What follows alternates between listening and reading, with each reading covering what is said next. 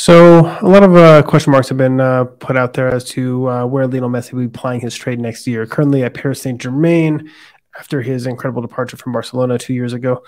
Um, I think uh, there are a few possibilities. He currently was offered like 450 million pounds from a club in uh, Saudi Arabia, where uh, Ronaldo currently plays his trade.